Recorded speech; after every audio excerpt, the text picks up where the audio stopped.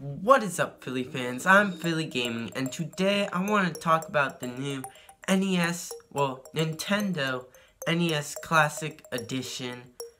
And it's pretty much like a remake of the original NES console, Nintendo Entertainment System.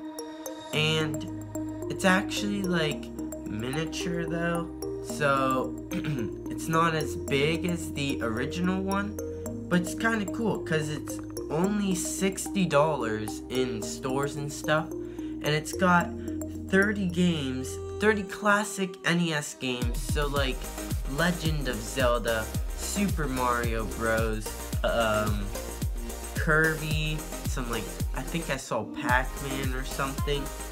So yeah, there's a lot of cool games on it.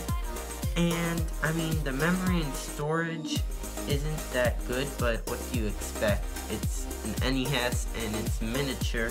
The memory is 250 MB, well 256 MB, and the storage is 512 MB.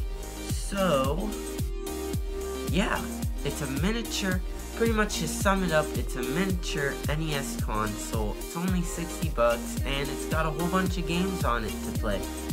So, yeah, that's pretty much it for the Classic Edition NES that came out a couple days ago. Like, as soon as I post this video, it's probably probably been a week.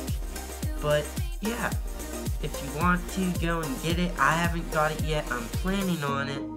So, that's pretty much it for this video. Thank you guys so much for watching. Make sure to leave a like and to sub if you haven't. And yeah, that's pretty much it for this video. Thank you guys for watching, and I'll see you guys in the next one. Bye.